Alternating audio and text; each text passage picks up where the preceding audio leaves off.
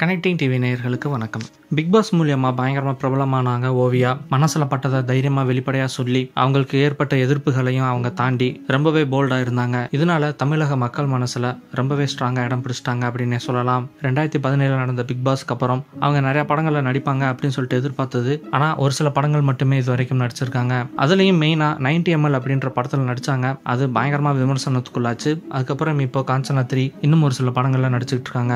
இப்படி இருக்கிற பட்சத்தில் நேற்று சேர்த்து அவங்களுடைய பர்த்டேவுக்கு அவங்களுடைய ஃப்ரெண்ட்ஸ் எல்லாருமே சேர்ந்து அவங்களுக்கு ஸ்பெஷலாக கேக் வெட்டி கொண்டாடினாங்க. நைட் பன்னெண்டு மணிக்கு ஒரு ஹோட்டலில் வச்சு இந்த செலிப்ரேஷனை பண்ணி எல்லாருமே என்ஜாய் பண்ணாங்க. இதனால ஓவியா அவங்களுக்கு நன்றி சொல்ற விதமாக ஒரு ட்வீட்டும் போட்டிருந்தாங்க. அதுக்கப்புறம் ரசிகர்களோட பேசணும் அப்படின்னு சொல்லிட்டு அதுக்கான டைமையும் ஒதுக்கி இருந்தாங்க. அதை தொடர்ந்து ரசிகர்களும் அவங்க கிட்ட நிறைய பேசினாங்க. நிறைய பேர் ரொம்ப டீசெண்டாகவே கேள்வி கேட்டாங்க. அதுக்கும் ஓவியா ரொம்ப ஸ்மார்ட்டாக பதில் சொல்லிட்டு இருந்தாங்க. ஒரு சிலர் ரொம்ப பர்சனலாகவும் கேள்வி கேட்டுட்டு இருந்தாங்க. அதுக்கு எந்த அளவுக்கு சொல்ல முடியுமோ அந்த அளவுக்கு மட்டும் சொல்லி எப்படி பேசணும் அப்படின்றத கரெக்டாக பேசிட்டு இருந்தாங்க. ஆனா ஒருத்தர் வந்து திடீர்னு என்னை நீங்க கல்யாணம் பண்ணிக்க முடியுமா? அப்படின்னு சொல்லி கேட்டிருந்தாரு. அதுக்கு ஓவியா ரிப்ளை பண்றதுக்கு முன்னாடியே இன்னொருத்தர் ஐட்டமா கல்யாணம் பண்ணி நீ என்னடா பண்ண போற? அப்படின்னு சொல்லிட்டு ரொம்பவே கொச்சையா ஒரு ட்வீட் போட்டிருந்தாரு. அடுத்து ஓவியா உடனே இன்னொரு பதில் போடுறாங்க. என்ன அப்படின்னா ஐட்டம் உங்க அம்மா அப்படின்னு சொல்லி போட்டிருக்காங்க. அந்த நபரோட டிபியை பார்த்தோம் அப்படின்னு சொன்னோம்னா அதுல அஜித்தோட போட்டோ இருந்துச்சு. ஸோ ஓவியாவுக்கும் நல்லாவே தெரிஞ்சிருக்கும் அவர் ஒரு அஜித்தோட ஃபேன் அப்படின்னு சொல்லிட்டு.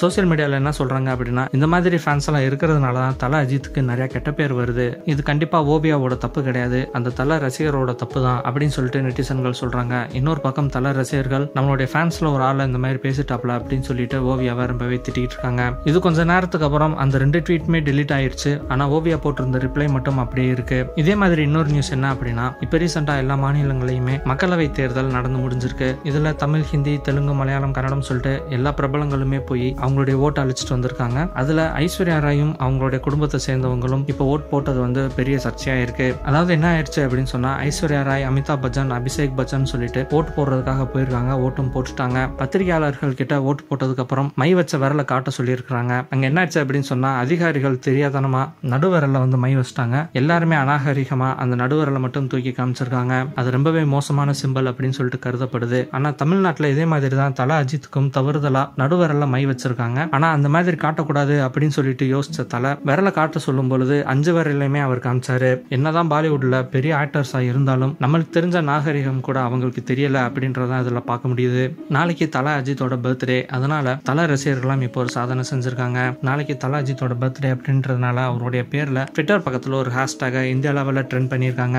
ஹச்பிடி ஐகானிக் தல அஜித் அப்படின்னு சொல்லி போட்டு அதில் கிட்டத்தட்ட இருபத்தஞ்சாயிரத்துக்கு மேலே ட்வீட்ஸ் எல்லாம் போட்டு இந்தியா லெவலில் பத்தே நிமிஷத்தில் நம்பர் ஒன் வந்திருக்கு.